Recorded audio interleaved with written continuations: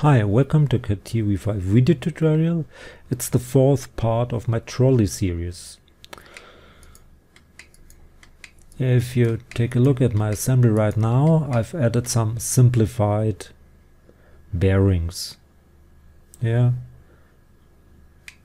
At the necessary positions. Okay. I think I have not to show it how to do it so I can save some time. So if you want to do kinematics, there is an option to convert your assembly constraints into kinematic joints. But, there's a big but, the program will not produce the joints which you want because I will need revolute joints, I will need for sure rigid joints and most importantly I will need curve joints and these curve joints are by no means automatically created. For example if I open this sub-assembly in a new window I could convert these constraints into kinematic joints.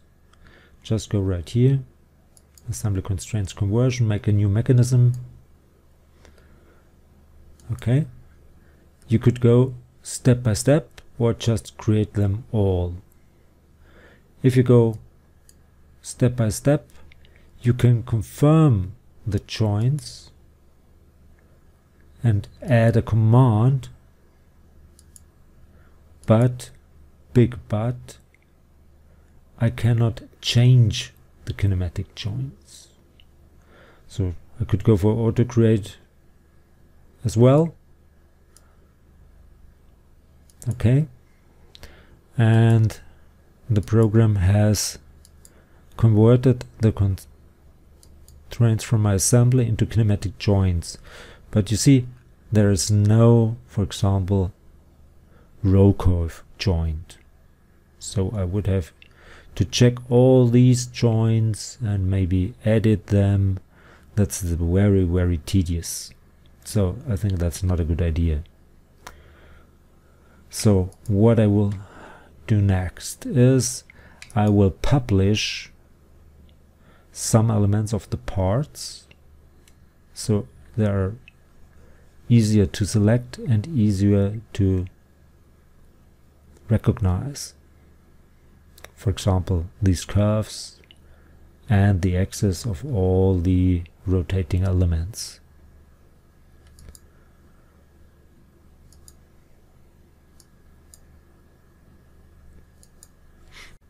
So let's prepare our parts for the kinematic joints. So maybe I would change back to assembly design and let's begin with this part. I think I will not need yeah for sure I would need the axis so I will publish one axis and make one axis in this part so just open this part you could do it in a new window.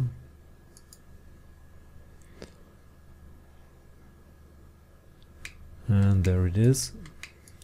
So I need an axis. And that would be that axis.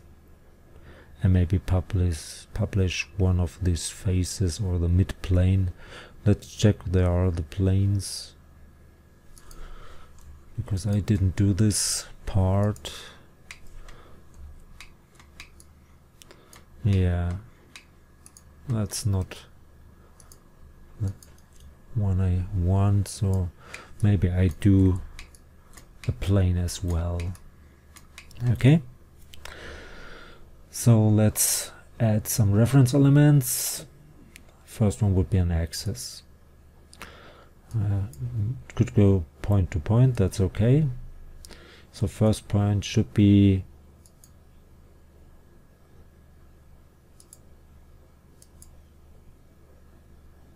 a circle sphere ellipse center point and that might be this one. Okay and the second point would be again maybe this one confirm and I got an axis next I want to have a mid plane and maybe that plane as well. So let's add a plane. That plane might be a mid plane. Let's check is there a mid plane equation not really but I could put it on that axis. So make it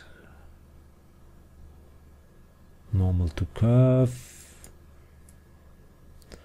That would be the curve. And the default point is the midpoint. That's okay. So confirm. And maybe that axis as well so let's go for another axis. And that might be point direction. Yes the point would be again a center point. That center point. That's not a circle. Oh that's crazy. That should be a circle. Okay. Maybe that's a circle that is a circle. So confirm. Direction would be normal to this plane or the same as this one. And reverse direction and maybe make it 50 that's okay and I might need a plane as well right here. So let's make a plane. I could use the face but I don't want to use faces. So maybe through a planar curve and use that edge. Confirm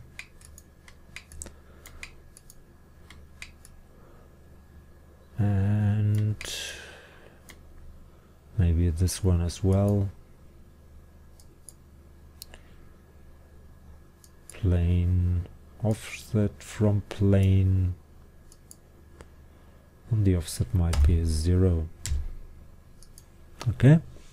Now let's publish these elements. Go for tool. Publication.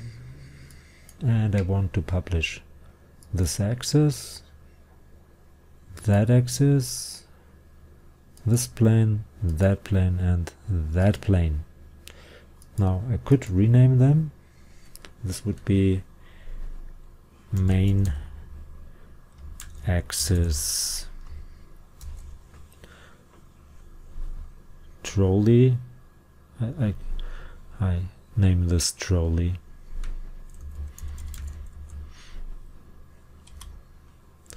then this would be the engine axis. Engine axis. That would be the trolley mid-plane. Mid-plane trolley. So maybe I might change this to trolley main axis or axis yeah that's okay. Main axis trolleys mid-plane trolleys so this one should be different. Axis engine. Axis engine. And that's plane engine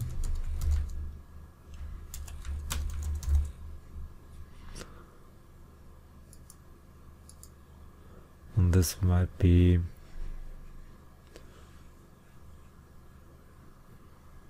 and maybe I call this uh, no the trolley plane plane trolley plane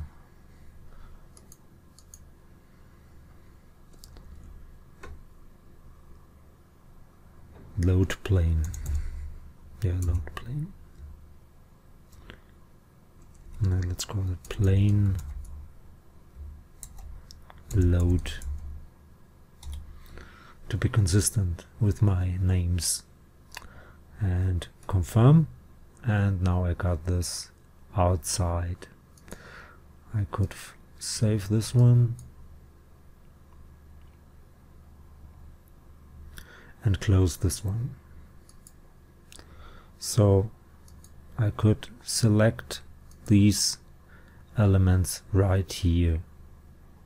I don't have to go and look for my elements in the model. So next will be the main shaft. Let's open this one up in a new window. And I would need an axis by two points so select create midpoint right here confirm and on the other end as well.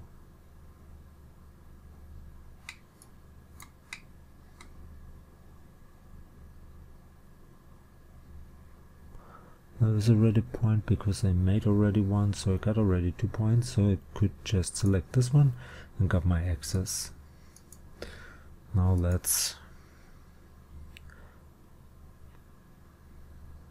you see don't use ordered geometrical sets. I didn't change the parts.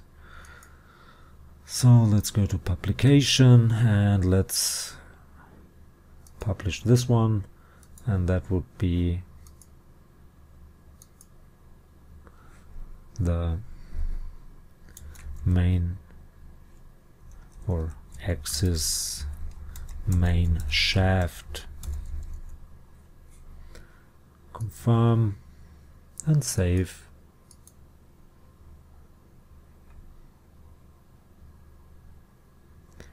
And yeah I might need a midplane as well. Or some sort of plane right here and there to get my joints. So I might go for a plane. Or two planes whatever you want or just the mid plane. I'm not quite sure which one to use. Yeah maybe I go for the mid plane. Let's see maybe these planes are in the right place. No they are not. You should uh, part do part like this symmetric and not at the end. So let's do a midplane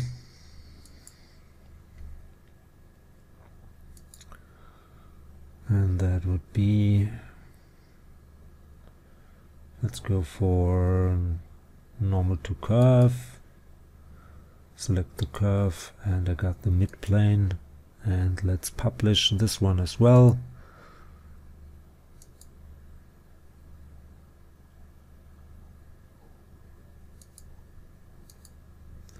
And that would be in the midplane shaft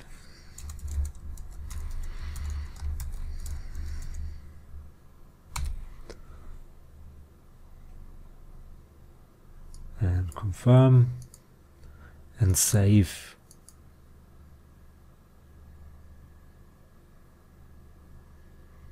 Close this one. Okay now I got these publications. Let's see the gear motor. There's the gear motor though that's the gear I would need the axis and the mid plane of course. So let's open this one you see that's very tedious but it's much easier to do with these published elements. Open a new window. Let's go for an axis. Yeah. And of course you should do all your parts with an axis system and not with planes. Not with these three planes but with axis systems. Okay. But I don't want to do all the parts so let's go for an axis. That would be point to point. That's okay. Just lock that lock it and the center point of this one. No really. You have to lock this one as well and go for circle sphere ellipse take this one confirm and again create point right here confirm okay and make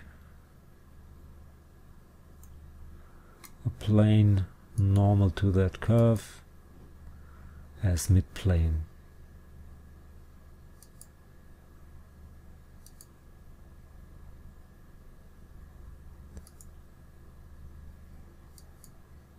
See, usually if you do an ordered and not ordered, a normal or geometrical set, these elements would be in a geometrical set and all the solids are in the body. So don't use ordered geometrical sets. And that's okay. Now let's publish these two. Go to publication. This one, that one. And that's the axis of the motor gear. Axis gear motor and the plane would be the axis midplane midplane axis gear motor. And save this file. So what I need to do and what I need you to do is to publish all the axes of all the elements of the wheels, of the gears, of the bearings and also publish at least one plane best would be the midplane so I don't think it's necessary to do a video on all these publications I think you could do it for yourself. So I will do it, you should do it, and I will see you to the next video where we'll try to get some kinematic joints into this assembly and see how it works out. So hope it was useful. Hope you enjoyed it. Thanks for watching. If you liked it, give it a like down below or just leave a comment. See you to the next one in the series. Bye bye.